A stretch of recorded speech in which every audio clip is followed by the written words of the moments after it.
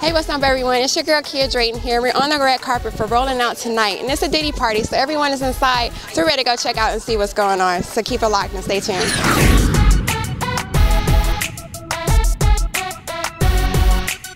I'll tell you something about a Diddy soiree.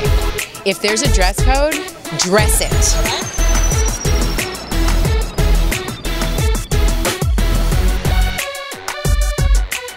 This all myself out of my closet. Don't you think I did good? good I was like, oh my God, look, a drop waist dress. Boy Pooch Hall, you listen to Rolling Out, you're watching Rolling Out. If you're not watching, you're losing.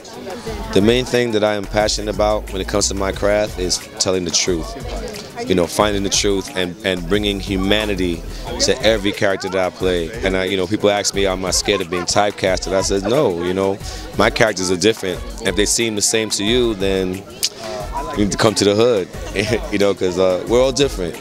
And and I just, you know, I like being a voice. I, I feel grateful to be a voice to people that society may deem as a, as a menace or something like that. You know what I mean? So, uh, what is it about tonight that brings you here? Are you a big Boardwalk Empire fan? I actually, my, my wife is a Boardwalk Empire fan. I've never seen it, but she has all the, the seasons for me, so I need to get caught up this season. You know, on the plane flying around the country, I'll get caught up on it. So maybe you guys have a date night and catch up on all the four seasons. Now, yeah, you know, she tried to. She, she's been trying to get me to watch it. My teammates have been watching it, so uh, you know, I'm coming over and I'm watching it. But I want to see what season four is about.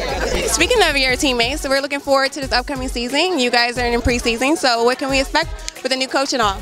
It's going to be an exciting year. You know, we got a new coach, a great coach in Doc Rivers, um, a lot of good free agents, and uh, you know, we have a chance to win a championship this year. So, you know, for a Clipper to say that, I don't think it's ever been said. So, you know, we're excited about it. Yeah, I'm a fellow Bruin, go Bruins, and you know what? I LA is definitely LA Clippers is definitely the team. Yeah, we're the team now. We're the team in LA, so people just got to get used to that.